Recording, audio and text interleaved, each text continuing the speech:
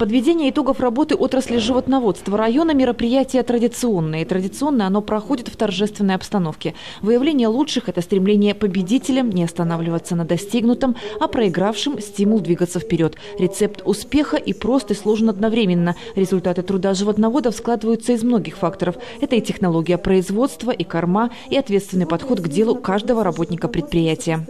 В каждом хозяйстве есть много положительных моментов, результаты сами за себя говорят.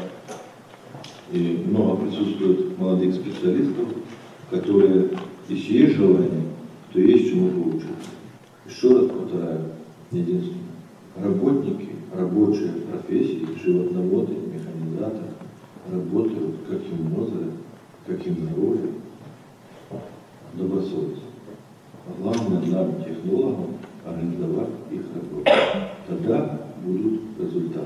Работа мозырских животноводов высоко оценена на областном и республиканском уровне. Так, район в 2015 году стал лучшим в области и седьмой среди 118 районов республики по продуктивности молочного стада. Лучшей отрасль животноводства Мозырщины признана на областных дожинках. Среди сельхозпредприятий области, занимающихся производством свинины, победителем этого конкурса стал совхозкомбинат «Заря» говядины Слободское имени Ленина. Победа в районном соревновании может и показаться лишь закреплением успеха. На самом деле значимость его для работников сельхозпредприятий нисколько не ниже. В итоге первое место у совхозкомбината «Заря», второе место у государственного предприятия «Козинки Агро», на третьем – сортоиспытательная станция.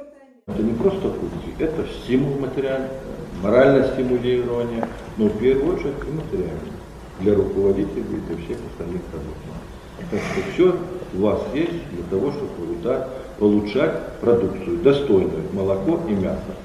Следующая оценка будет дана по итогам работы за первый квартал. Переходящие кубки ждут победителей. Кроме того, с этого года в соревновании примут участие хозяйства Наравлянского района. Составлять конкуренцию мазырянам они пока не могут, поэтому для них организован отдельный конкурс. Илона Шавловская, Юрий Грабец, телеканал «Музырь».